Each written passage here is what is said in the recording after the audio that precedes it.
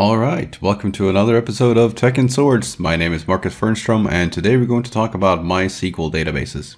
I'm going to cover how to connect the database, how to perform select statements, and we're also going to insert data using parameterized queries. Now, the drivers can sometimes be a bit of a pain to get a hold of, so for convenience, I put them on my GitHub.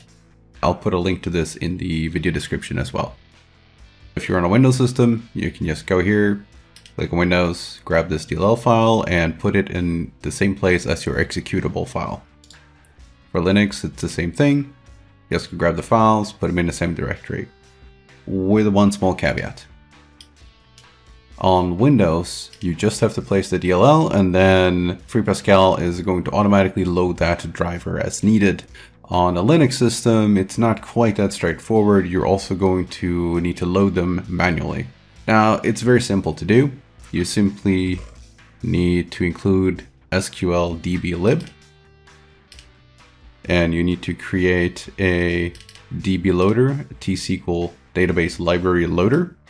This literally is just designed to tell the application where to find the database drivers.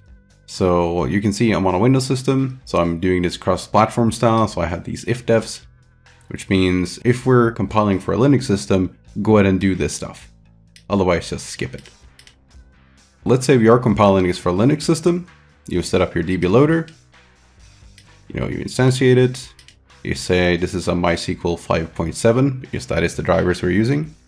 And for library name, you want to put the full path to where your client file.so.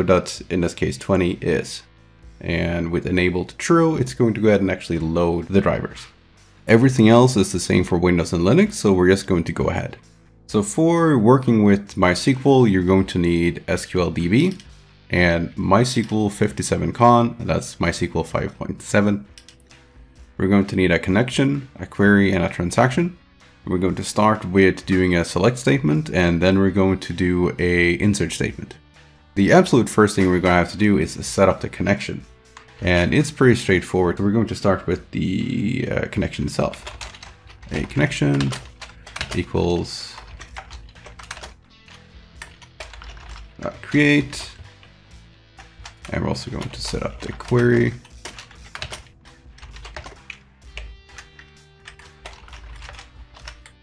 As well. Let's set up a try finally, just to make sure that when everything is said and done, this is cleaned up. Okay, so let's start with the actual connection. The host name is localhost The port is 3306. This is the default MySQL database port. I've created a user called TS. And the password is TS password. Please do use more secure passwords on your production systems. And I'm setting the default database.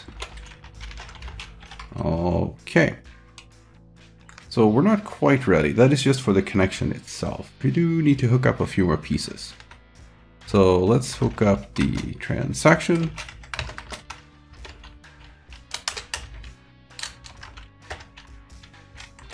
I'm going to create it and we're going to set the owner as a connection.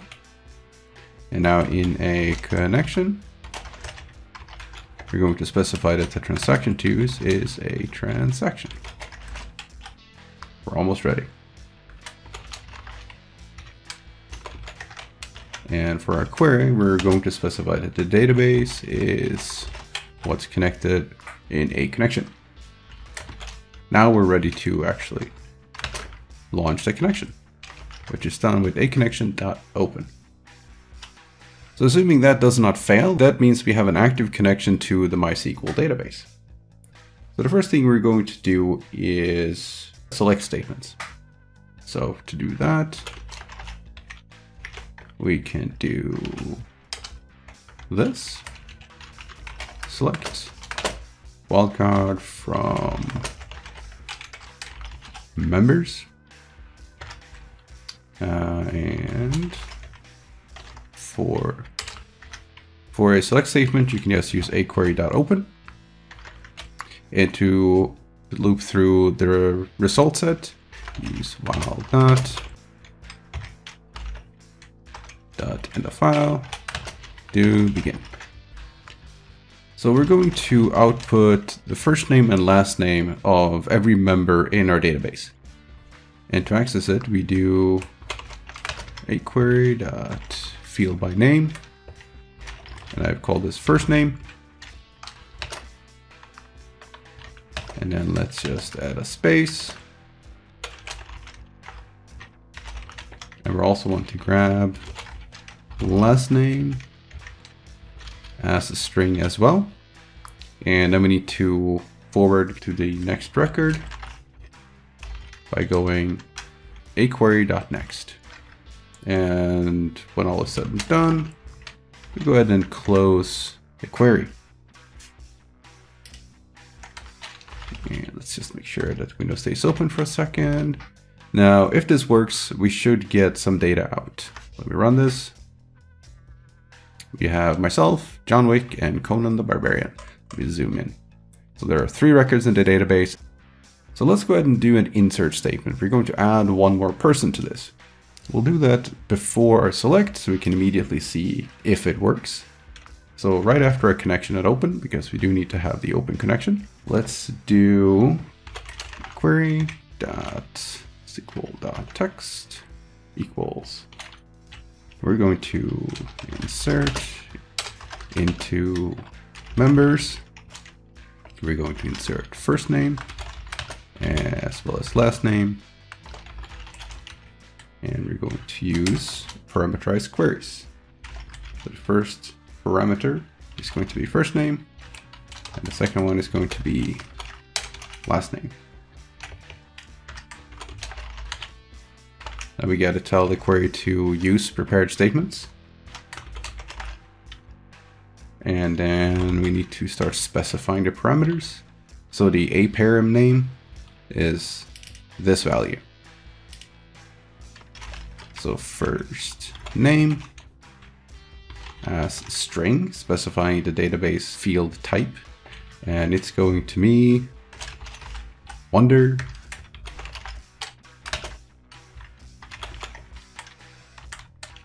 So last name, which matches this. Uh, string equals woman. So we're going to add Wonder Woman to our record here. Now to actually execute the statement, we need to use .exec_SQL, so execute SQL. But it's not enough to do just execute the SQL we also need to tell the transaction that we are committing this. So why are we committing this? Well, in the case you're performing several SQL statements in a row and they depend on each other, let's say you're performing three and the third one fails. And if the third one fails, you don't want any of them to have any effect on your database. You can roll back, you can ignore those changes because they haven't actually happened yet. So now, if this works, we are first inserting a new member, Wonder Woman, and then we are doing a select all from members. So if this works, we should now see the same list as before, but with Wonder Woman. And there she is.